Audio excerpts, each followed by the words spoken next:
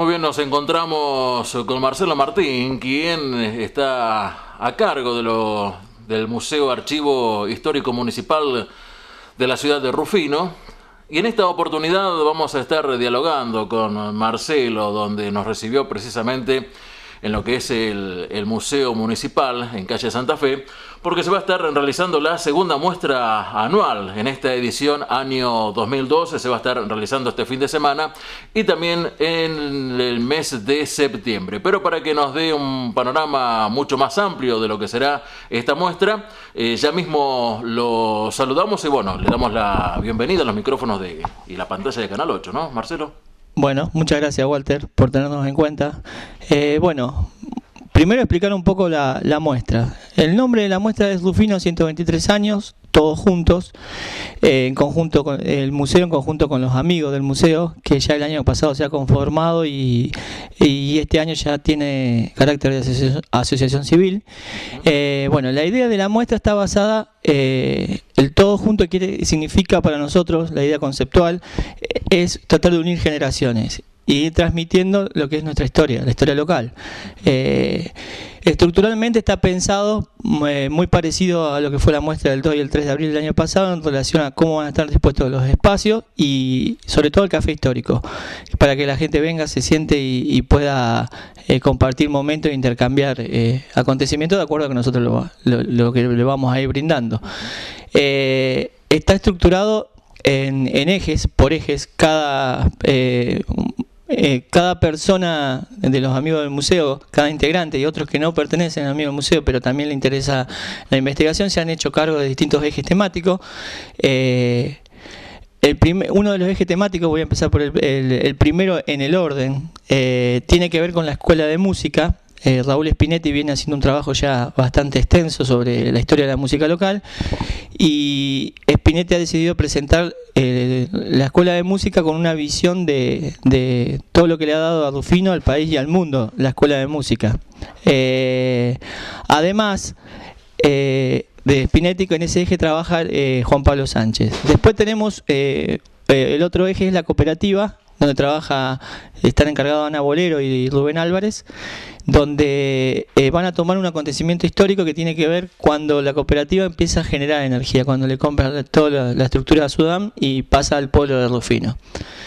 Después, eh, otro eje importante eh, es el, de, el, el, reconocimiento de los excombatientes de Malvinas, donde específicamente se va a tratar eh, la visión de los medios locales que tuvo la guerra de Malvinas en relación a los excombatientes nuestros que, participaron en nuestra comunidad. Todos estos ejes van a, van a, se van a exponer este domingo 26 de, eh, de agosto de 17 a 20. Eh, cada eje va a tener un contenido audiovisual, un video y se van a abrir a charlas y a, debates. El primero de septiembre, eh, el sábado primero de septiembre, que va a ser de, de 18 a 22, tenemos pensado dos ejes, eh, do, dos tipos de ejes. Uno es la cuestión del patrimonio, que ya Marta Leán y Norberto Molo vienen haciendo un relevamiento de lugares históricos de Rufino y han elegido para para este eh, para esta muestra lo que es el barrio norte.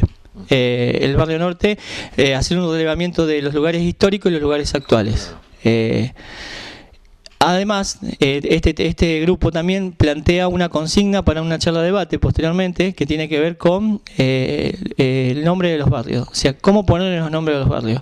En relación a que muchas veces lo, los mismos vecinos establecen los límites eh, de, los, de los barrios y, y, y, contemplar un poco la idea de, si, que, eh, si, los barrios tendrían que el nombre de los barrios tendría que ser propuesto por los por los mismos vecinos por una cuestión de pertenencia eh, y finalmente tenemos un reconocimiento a Aldo Simonuti eh, que fue un gremialista, un, ferro, un ferroviario eh, gremialista, donde se le va a poner el nombre de la sala ferroviaria del museo, el nombre de, Aldo Simonuti, valga la redundancia. Eh, todo esto el primero de septiembre.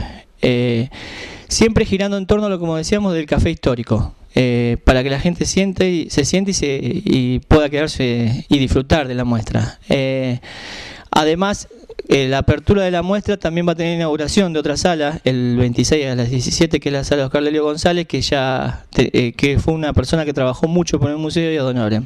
Más o menos esa es la, la, idea de la, de la, muestra. Además de las personas que yo nombré que trabajan en los ejes, están los otros amigos del museo que no que están dedicados a otros grupos de trabajo, como es logística, como es eh, todo lo que tiene que ver con protocolo, que también ha colaborado como, como Walter Velázquez, Juan Ignacio Vivaudo, eh, Laura Tolosa, eh, bueno, todos los que integran la comisión se, están, se han puesto a trabajar. Eh, más o menos esa es la idea de, la muestra.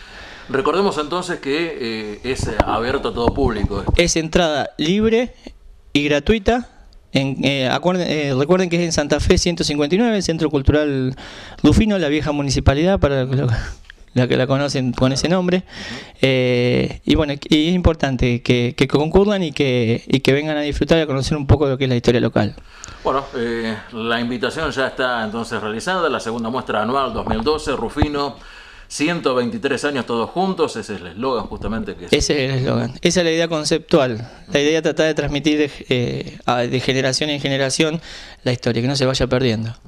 Será este domingo 26 de agosto y luego el 1 de septiembre. Recordemos, tal como decía Marcelo, Centro Cultural eh, Municipal en calle Santa Fe 152. Santa Fe 159. 159, perdón, 159. Eh, junto a la Asociación Amigos del Museo y el Archivo Histórico Municipal de nuestra ciudad.